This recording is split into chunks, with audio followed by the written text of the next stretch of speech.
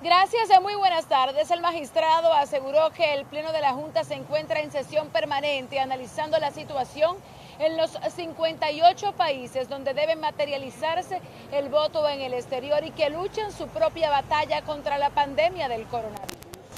La Junta hará todo lo que pueda dentro de lo posible, dentro de lo que pueda hacer sin poner en peligro la calidad de las elecciones, porque tampoco a lo imposible nadie está obligado.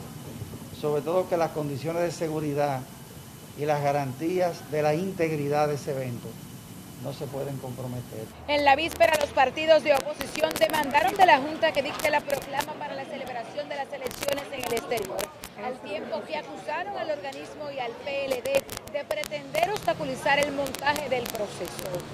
Ha habido negligencia por parte de la Junta Central Electoral, lamentable negligencia, pero a pesar de ello, hay que crear las condiciones para que en los días venideros se produzca el voto dominicano en el exterior. Nosotros estamos comprometidos, es la Junta que cumple, que haga su trabajo el presidente de la Junta y que no es cosa de palabrería, sino que haga su trabajo para que el voto en el exterior sea una realidad. En las tres circunscripciones electorales del exterior hay cerca de 600 mil dominicanos empadronados.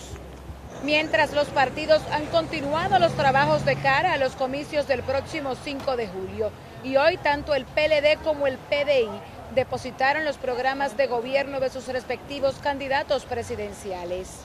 Para tratar sobre los avances del montaje del proceso, incluido el tema del voto en el exterior, este jueves el Pleno del organismo sostuvo un encuentro con la Comisión de Acompañamiento designada en el Consejo Económico y Social.